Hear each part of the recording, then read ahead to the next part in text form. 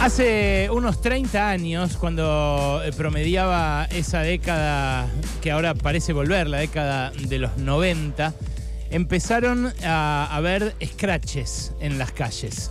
Eh, fue después de que primero eh, había habido un gobierno que dispuso la ley de obediencia de vida y la ley de punto final y de esa manera frenó, me refiero a Raúl Alfonsín, el mismo proceso que había empezado con el juicio a las juntas, un proceso inédito que implicó juzgar a los milicos genocidas de la época de la dictadura por delitos de lesa humanidad, por cosas espantosas, por torturas, eh, por tormentos, por eh, robo de niños, de bebés, eh, por asesinatos, secuestros, por supuesto, robos de dinero de todas las propiedades. Hay gente a la que la saquearon, la despojaron completamente de todo.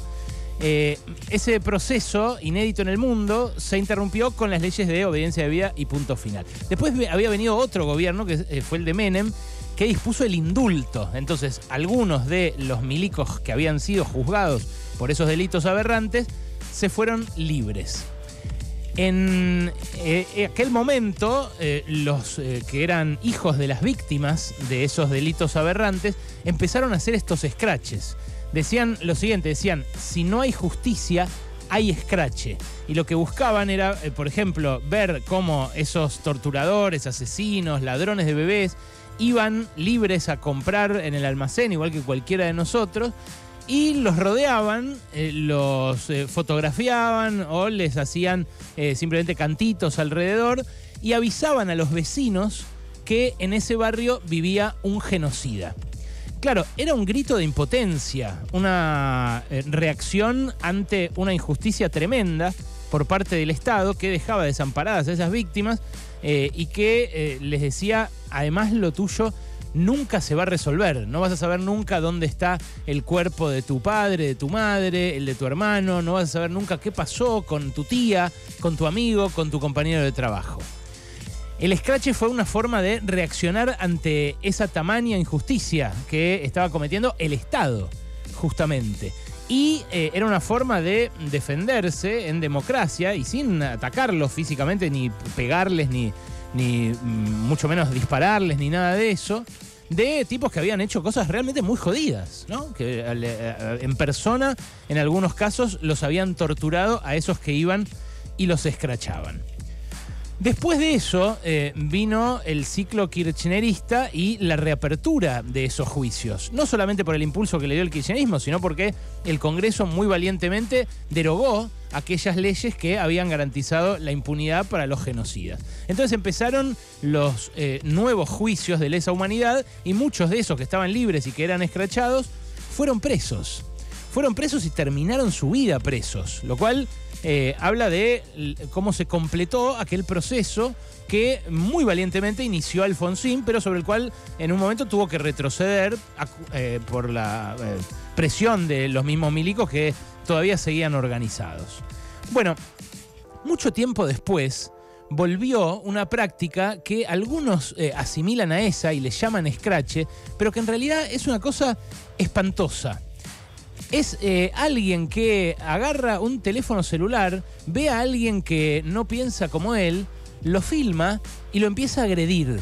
Lo empieza a agredir mientras lo filma, de tal modo eh, que esa persona pública que está siendo filmada reaccione ante la agresión y entonces después viralizar a ese tipo o esa mina enojado, supuestamente. Esto es algo que está pasando eh, desde hace varios años. Es una de las consecuencias del hecho de que todos tengamos una camarita en el bolsillo todo el tiempo, ¿no? Que es eh, eso, un celular. Eh, pero está pasando cada vez más.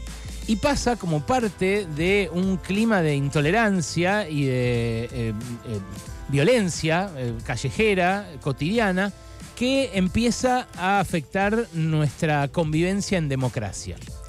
Esto es jodido porque eh, primero puede generar episodios de violencia, episodios de violencia física, puede que alguien termine lastimado, ha pasado, pero sobre todo porque es muy injusto, es eh, una situación de muchos contra uno, es una situación además de el que está expuesto eh, en, una, en un momento de su esfera privada, con su familia o qué sé yo, y además no es que hay una denuncia de un delito impune es simplemente la expresión intolerante de el no poder convivir los unos y los otros.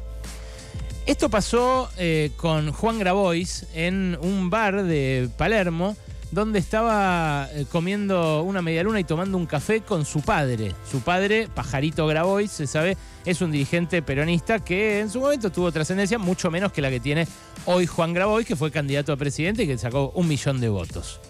Alguien se acercó, lo empezó a filmar y empezó a hacer esto.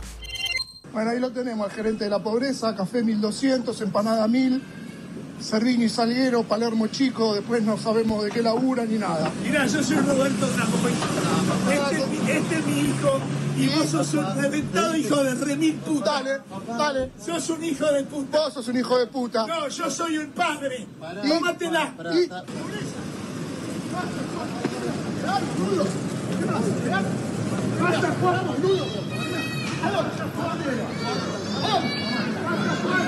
Bueno, Después, el que vio el video, el que vio el video que es viral en redes sociales lo habrá visto. Este es el momento en el cual Grabois se para correctamente y le dice, ¿qué me querés decir? Y el tipo arruga, se va.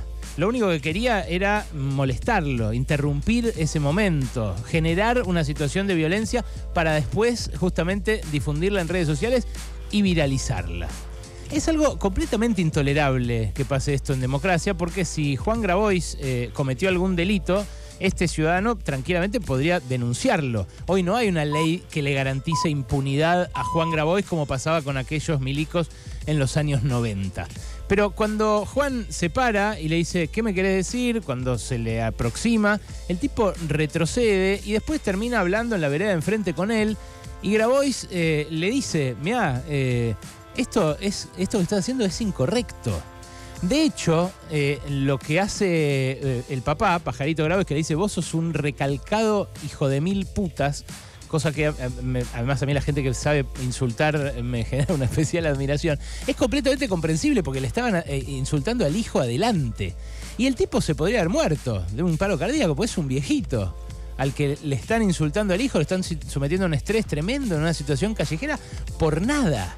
El otro dice, mirá, 1.200 pesos una media luna, 800 pesos un café. ¿Qué es lo que vale un café, lamentablemente, y lo que vale una media luna? No es ningún delito pagar por eso, pagar por una media luna esa guita. En todo caso es algo que cada vez menos gente puede hacer y eso es una cagada.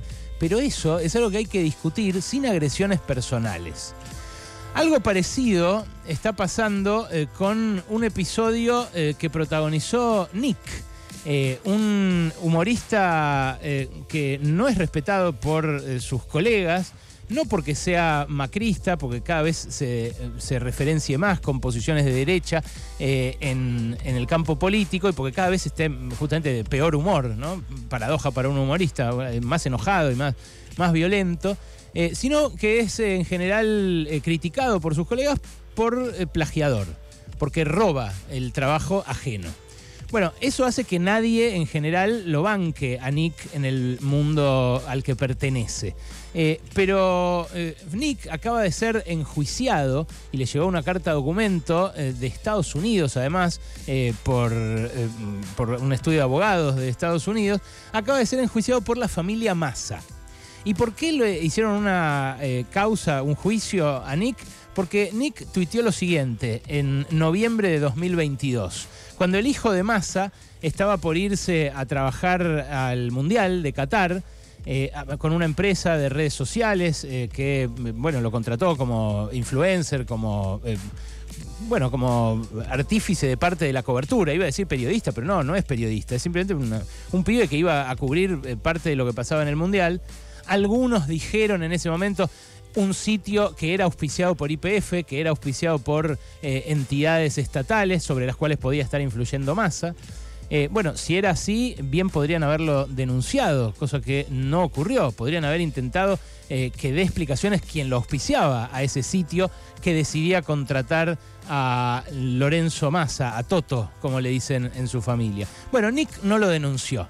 Nick directamente eligió tuitear lo siguiente. Para vos no hay dólares. Para vos verlo por TV. Para el hijo de masa, dólares, Qatar, pasaje en primera bancado por AFA, IPF y Aerolíneas Argentinas. Vacunas, ellos primero. VIP. Fiestas en pandemia, ellos sí. vos jodete. Patrimonios, ellos millonarios, vos pobre. Memoria, hashtag niño gnocchi.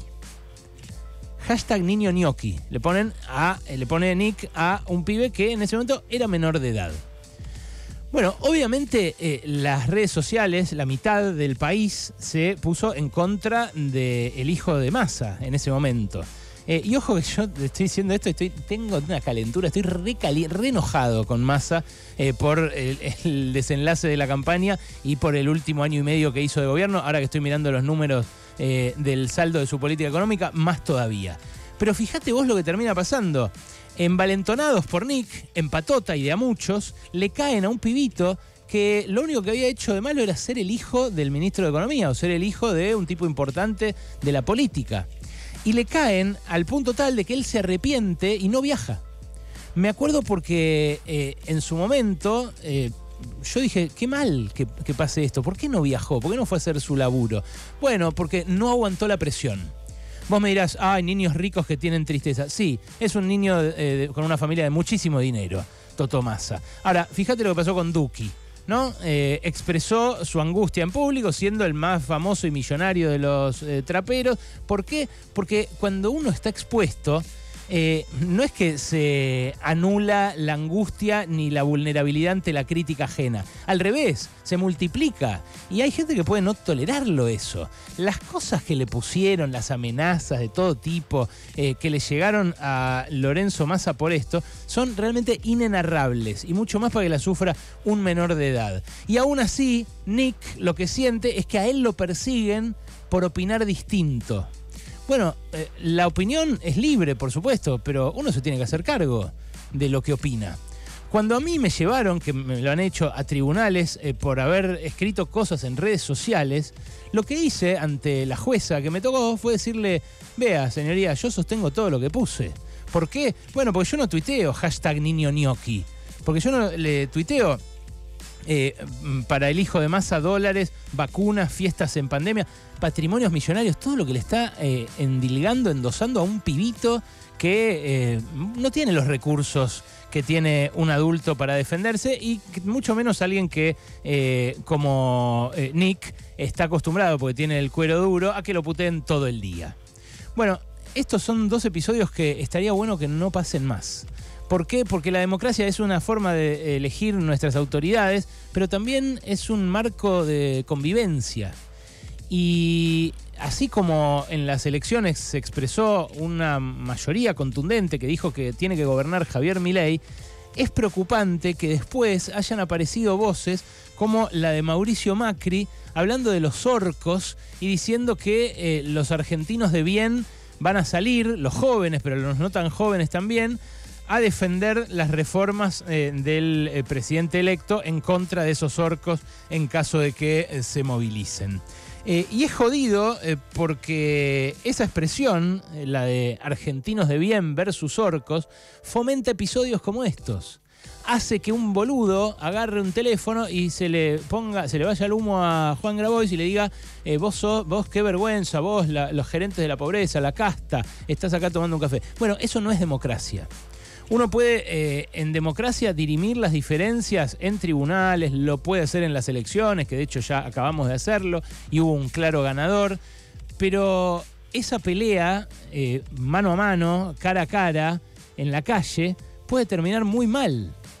Puede terminar peor que eh, todos los episodios de violencia previos que tuvimos. Puede terminar en una guerra civil, en derramamiento de sangre absurdo completamente en, la, en la Argentina. Y e, es peligroso porque más allá de si usó esta expresión Videla o no, que hay quienes eh, lo referencian en él, el uso del argentinos de bien, marca una delimitación que deshumaniza al otro. Es lo que pasó cada vez que eh, un colectivo poderoso eh, fue a aniquilar a otro más débil. Es lo que pasó con los esclavos. Como eran menos que humanos, entonces se los podía eh, azotar, eh, castrar, se los podía separar de sus familias. No eran humanos. Es lo que pasó en la campaña del desierto, que como era desierto, no había humanos, había animales. Bueno, les pasamos por encima. Así aniquilaron pueblos enteros. Es lo que pasó en el holocausto. Cuando claramente al judío, al gitano, al comunista se lo trataba como menos que humano y por eso se los podía amontonar y meter en cámaras de gas o eh, directamente eh, matar de hambre en medio de trabajos forzados.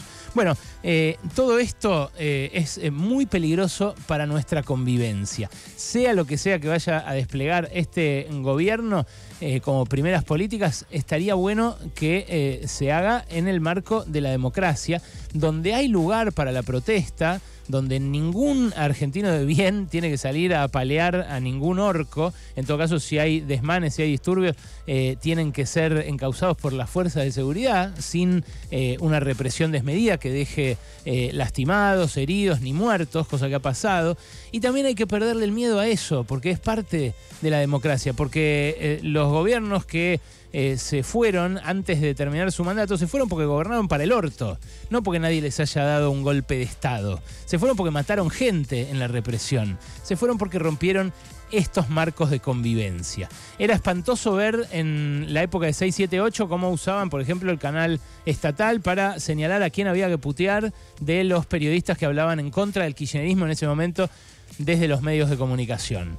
Eh, habría sido mejor que se discutiera en vez de personas las políticas. Y ahora lo mismo. Estaría mucho mejor que en vez de discutir si Graboy se puede comer una media luna de 1.200 pesos, que hablemos de cómo hacer para eh, reducir esa pobreza que avergüenza, que debería avergonzar a los macristas, cuya eh, gestión hizo que muchos caigan abajo de la pobreza, y que debería avergonzar también a este gobierno peronista que se va que siempre se jactó de beneficiar a los más pobres y que se va con cinco puntos más de pobreza en un nivel intolerable. Pasaron cosas. Cosas. Hasta las 16 con Alejandro Berco.